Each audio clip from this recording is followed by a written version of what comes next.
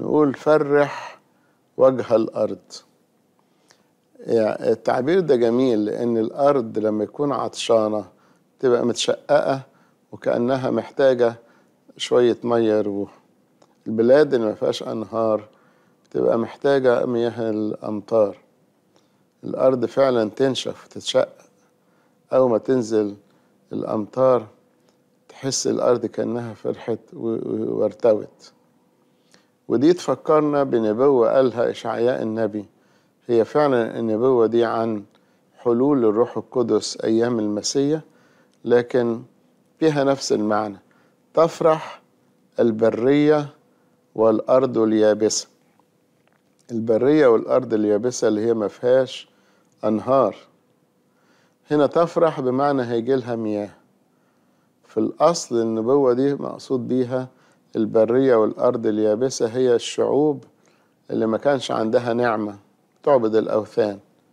هتفرح لأن نور الإنجيل هيوصل لهم ومياه الروح القدس هتوصل لهم.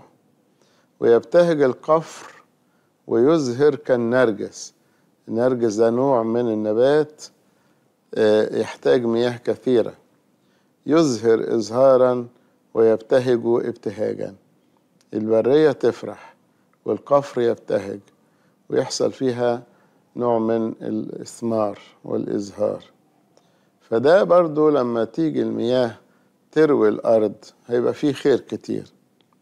الأرض دي هي قلبي اللي محتاج مياه الروح القدس عشان يرتوي ويشبع ويثمر لمجد الله.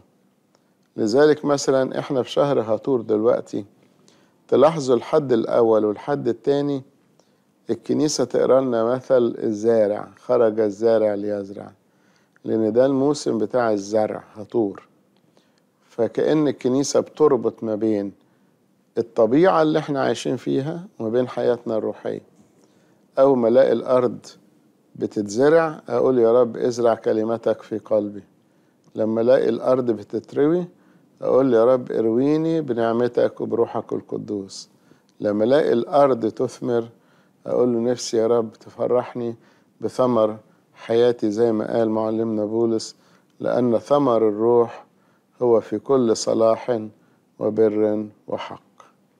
دايما الكنيسة بتعلمنا نربط ما بين الظواهر الطبيعية بتاعت حياتنا اليومية وما بين علاقتنا مع الله ونمونا في النعمة.